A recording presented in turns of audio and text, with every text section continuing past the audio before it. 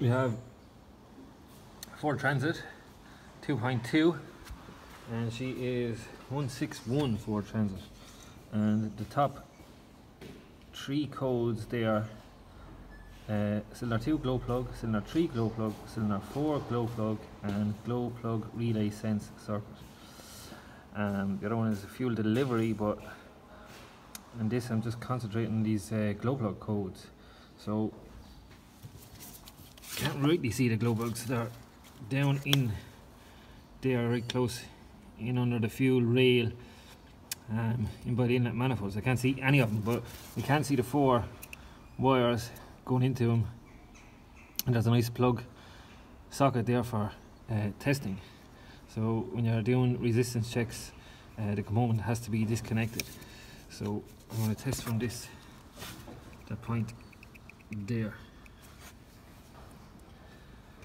so it's telling me three of the glow plugs are gone. So I'm going to go in here.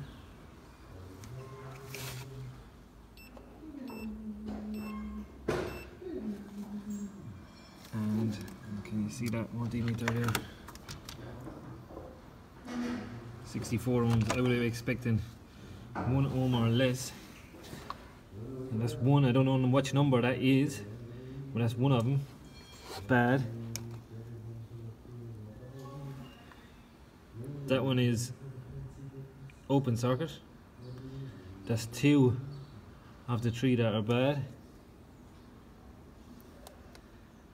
That one is 140 ohms of resistance. Another bad one. And this one is one one one ohm.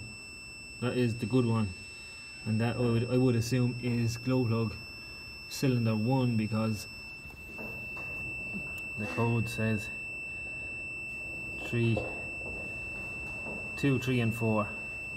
So that's it. This thing needs a set of glow plugs just a quick and easy resistance check on testing heater plugs thanks for watching it